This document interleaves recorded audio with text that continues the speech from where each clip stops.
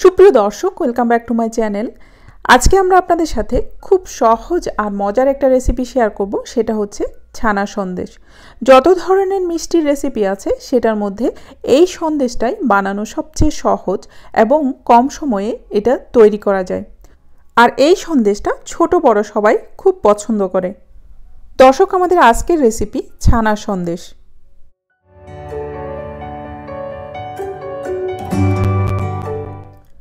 সন্দেশটা বানানোর আগে প্রথমে আমি এরকম একটা বাটি নিয়ে এটাতে হালকা একটু ঘি ব্রাশ করে নিচ্ছি। আপনারা চাইলে এখানে তেল অথবা বাটারও ব্রাশ করে নিতে পারেন। এই বাটিটাকে আমি একটা সাইডে রেখে দিব, তারপর আমি মূল যে প্রক্রিয়া আছে সেটাতে যাচ্ছি।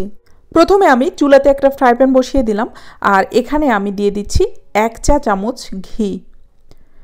ঘিটাকে আমি একটু গলিয়ে নিব আর এই সন্দেশটা বানানোর ক্ষেত্রে শুরু থেকে শেষ পর্যন্ত চুলার আঁচটা কিন্তু একেবারেই লো থাকবে। এবার আমি এই ঘিতে দিয়ে দিচ্ছি এক লিটার দুধের ছানা।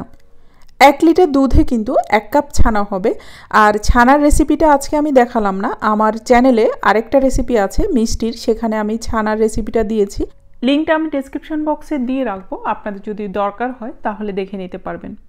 এরপর আমি ছানার সাথে দিয়ে দিচ্ছি হাফ কাপ কনডেন্সড মিল্ক এই সন্দেশটা বানানোর ক্ষেত্রে আর অতিরিক্ত কোনো মিষ্টির প্রয়োজন হবে না। আমরা সবাই জানি যে ছানা সন্দেশটা মিষ্টির পরিমাণটা একটু কম হয়। এক কাপ ছানার সাথে হাফ কাপ কনডেন্সড মিল্ক এটা একদম পারফেক্ট মিষ্টি। আপনারা যদি একবার তৈরি করেন তাহলে বুঝতে পারবেন যে এখানে অতিরিক্ত কোনো চিনি বা মিষ্টি জাতীয় কোনো কিছু দেওয়ার আর প্রয়োজন নেই।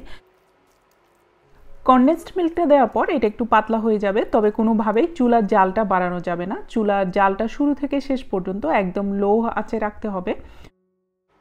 আর এখানে এরপর আমি দিয়ে দিচ্ছি কোয়ার্টার চা চামচ এলাচের গুঁড়ো।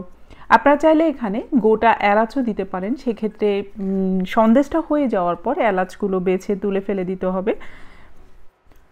দর্শক, আমাদের সন্দেশটা হতে আর বেশি সময় লাগবে না। মোটামুটি কর্নেস্ট মিল্কটা একটু শুকিয়ে আসলে আমরা এটাকে নামিয়ে ফেলব। পুরো সন্দেশটা তৈরি হতে চার থেকে পাঁচ মিনিটের মতো সময় লাগবে। আপনারা হয়তো দেখে বুঝতে পারছেন যে এটা কীরকম হয়েছে। কর্নেস্ট মিলটা শুকিয়ে গেছে, তবে একেবারে শক্ত হয়ে যায়নি।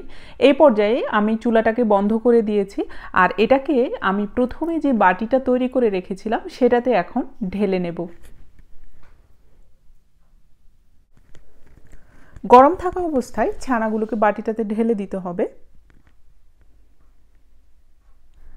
বাটিতে ঢেলে ছানাগুলোকে আমি স্প্যাচুলা দিয়ে এভাবে চারপাশে সমান করে দিচ্ছি। আর এই ছানাগুলোকে আমি এখন এক ঘণ্টার জন্য রেখে দিব যাতে এটা পুরোপুরি ঠান্ডা হয়ে যায়।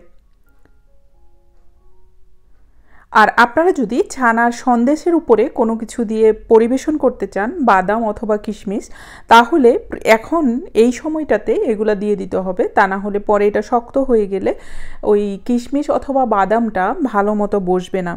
আমি এখানে আর কোনো কিছুই দিব না। আমি এখন এই ছানাগুলোকে ঠান্ডা হওয়ার জন্য রেখে দিব এক ঘণ্টা। আর এক ঘণ্টা পরে আমি এটাকে কেটে পরিবেশন করব। দর্শক আমাদের এক ঘণ্টা হয়ে গেছে, আর ছানাটাও পুরোপুরি সেট হয়ে গেছে। এখন আমি এই ছানাটাকে সন্দেশের আকারে কেটে নিচ্ছি। আপনারা চাইলে আপনাদের পছন্দ অনুযায়ী ছোট বা বড় পিস করে নিতে পারেন। দর্শক, আপনারা দেখতে পেলেন কতটা সহজেই ছানার সন্দেশ তৈরি হয়ে গেল। আপনারা বাসায় একবার হলেও এটা ট্রাই করবেন আর ট্রাই করে কেমন হলো আমাদেরকে জানাবেন। যদি ভালো লেগে থাকে আমাদের রেসিপি তাহলে আমাদের চ্যানেলটাতে সাবস্ক্রাইব করে আমাদের পাশেই থাকবেন। সবাইকে এতক্ষণ সাথে থাকার জন্য অসংখ্য ধন্যবাদ।